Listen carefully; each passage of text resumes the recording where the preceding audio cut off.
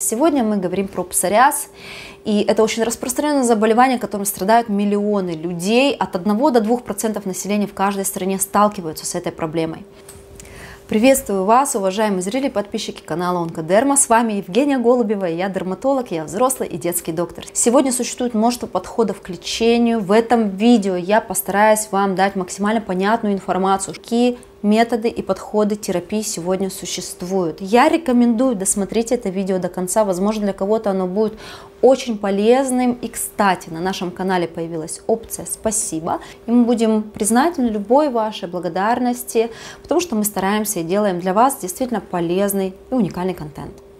Итак, какие методы лечения псориаза сегодня существуют? Единой универсальной схемы, подходящей абсолютно всем пациентам с псориазом, сегодня нет – Потому что псориаз очень разнообразное заболевание, у каждого своя история, и, соответственно, в лечении мы находим строго индивидуальный подход с учетом особенностей каждого конкретного случая, с учетом наличия или отсутствия тех или иных хронических заболеваний. И действительно есть уникальные случаи полного избавления от псориаза, но это всегда плодотворная работа между пациентом и докторами. И пациент должен для себя решить, а готов ли он что-то изменить в своей жизни, чтобы добиться результата результата, а прежде всего это добиться стойкой длительной ремиссии. А наша задача улучшить качество жизни пациента. И в моей практике встречались множество пациентов, которые признавали эту болезнь и ничего абсолютно не хотели делать, ничего менять в своей жизни. И окей, мы это тоже можем понять и принять. Но когда пациент обращается с целью «я готов лечиться», «я готов что-то делать», вот тогда, конечно, мы предпринимаем все возможные меры для того, чтобы добиться того максимально хорошего клинического результата, которого нам нужно. И первое в лечении псориаза я ставлю снижение уровня стресса, того самого фактора, который является пусковым механизмом развития данного заболевания в большинстве случаев. И действительно сегодня стрессу уделяют огромную роль и доказано, что это мощнейший деструктивный фактор на организм в целом, поэтому уменьшить уровень стресса максимально всеми возможными возможными способами и средствами. Мы сегодня живем в очень изумительном и богатом информационном мире, где инструментов, которые помогают нам с этим, очень много. Это помощь врачей-психиатров, психотерапевтов, психологов.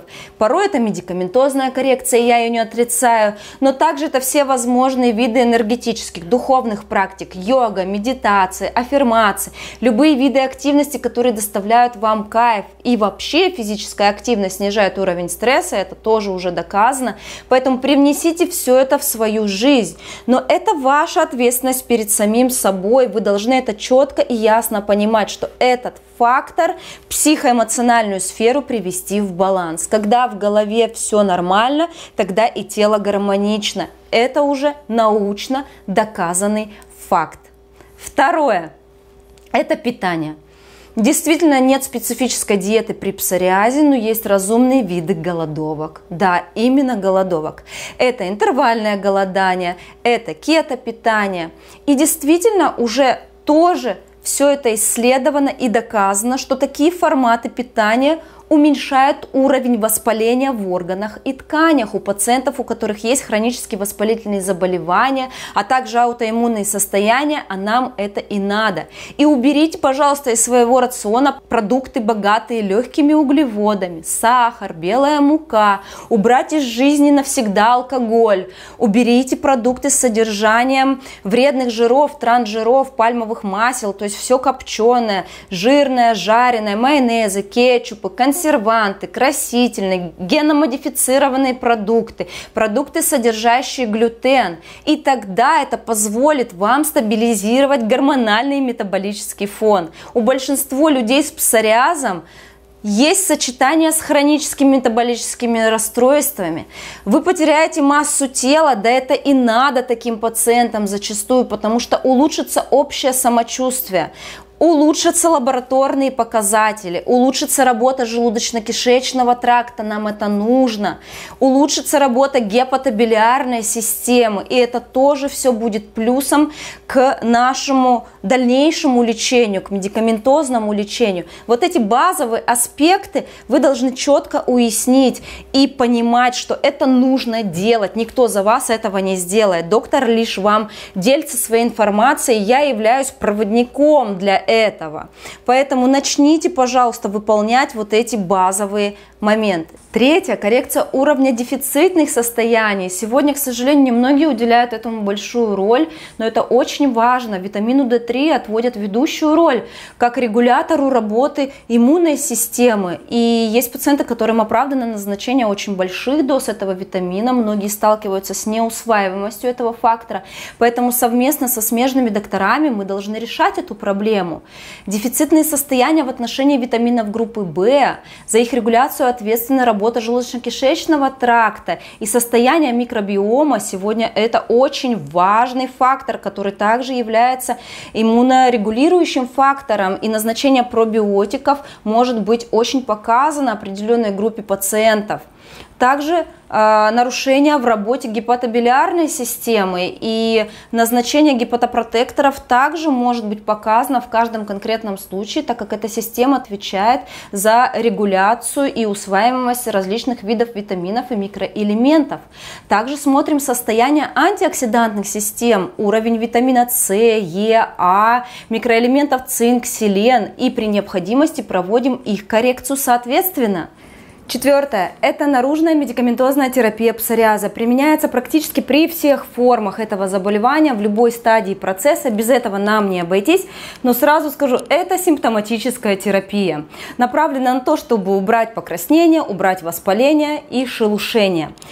Но для врача-дерматолога это основной инструмент, и без этого нам никак не обойтись. Э, различные формы сегодня этих препаратов существуют, различные их комбинации. Я сегодня назову вам основные действующие вещества, и я вам так скажу, это бывают формы лосьонов, формы шампуней, кремов и мазей. Итак, основное, топические глюкокортикостероиды, это действительно те средства скорой помощи, которые мы применяем в период обострения от 2 до 4 до 6 недель. Мы можем использовать использовать их для того, чтобы уменьшить все тот же зуд, все то же покраснение, все те явления воспаления, которые пациента прежде всего беспокоят.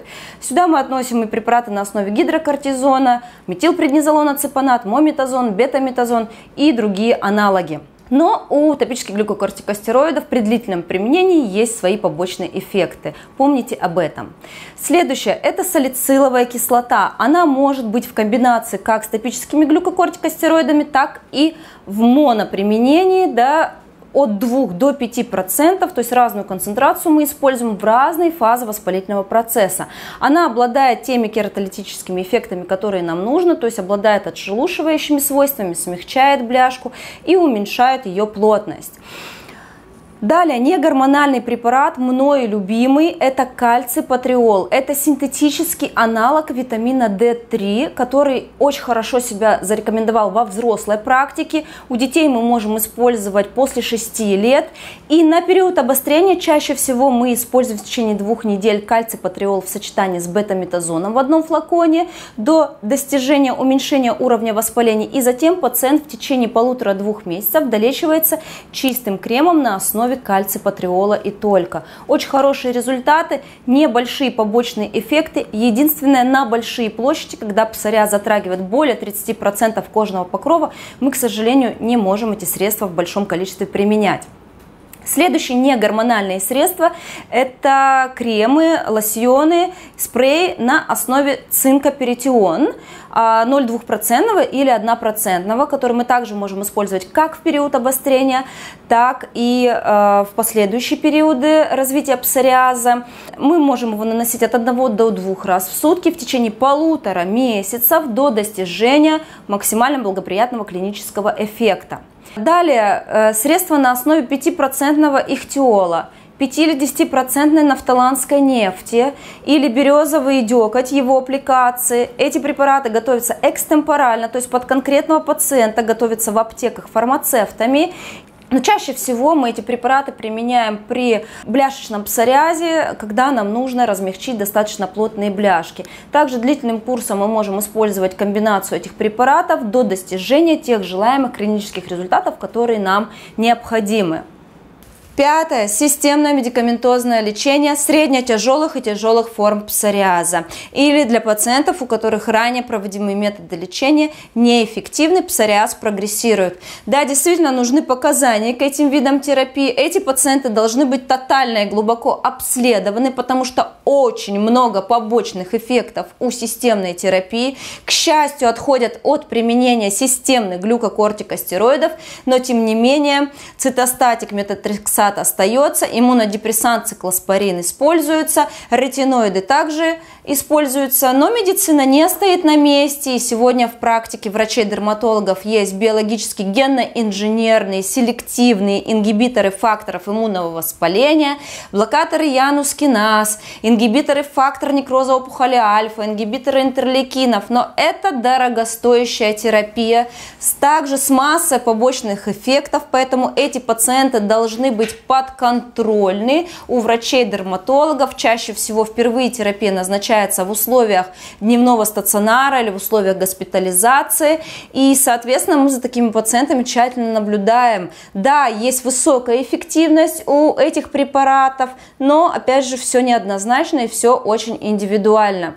Не все мы методы системной терапии можем использовать в детской практике. Есть множество ограничений по возрасту, поэтому нужно уточняться с лечащим лечащими докторами, с детскими дерматологами.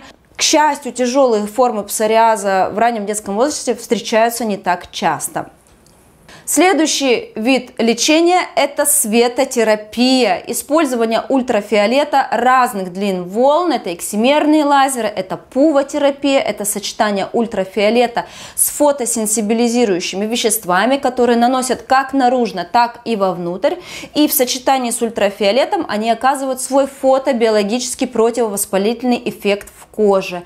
Но также эта терапия противопоказана до 18 лет. Эти пациенты должны быть отобраны для этого вида терапии, потому что не всем она возможна. Не в 100% случаях мы можем провести этот вид лечения, поэтому здесь нужно также комплексное обследование, и мы не можем бесконечно много использовать методов Э, светолечения, не более 200 доз, поэтому эти люди также подконтрольны и ведется специальная фото история болезни, да, сколько доз человек получил и сколько мы еще можем дать.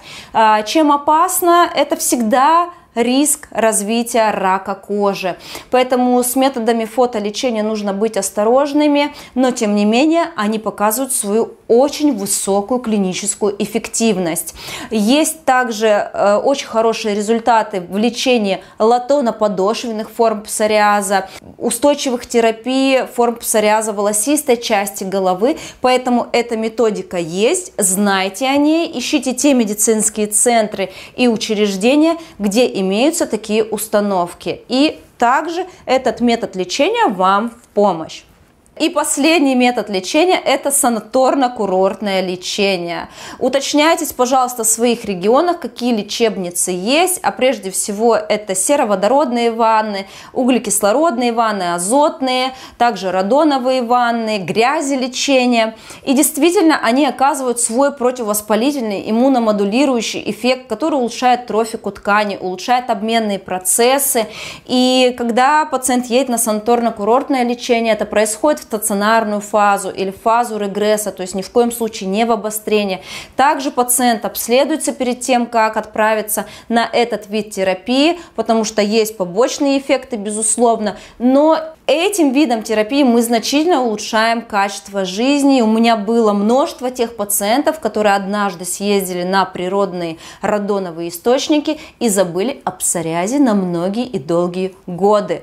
Поэтому об этом виде терапии обязательно помните, узнавайте, уточняйте в своих регионах. Очень много таких лечебниц на Кавказе, на Дальнем Востоке, также в средней полосе России, поэтому нужно уточняться у своего лечащего доктора по поводу этих видов терапии. В общем-то, в этом видео я постаралась вам максимально понятно и доступно рассказать о подходах к терапии, я думаю, что вы поняли, что единого уникального средства излечения от псориаза нет. Это всегда глобальный комплексный подход, это совместный труд пациента и доктора, и тогда мы можем получить очень хорошие клинические результаты. И я надеюсь, это видео многим было полезно. И я вас очень прошу, оставляйте свои комментарии, будьте активны, оставайтесь с нами. Я очень люблю отвечать на ваши комментарии. Я вижу тогда вашу заинтересованность в нас. И, соответственно, это для меня прекрасная мотивация создавать для вас больше полезного контента. А я самое главное всем желаю здоровья, радости, добра, мира и гармонии. И оставайтесь с нами. И до встречи в новых видео. Пока-пока.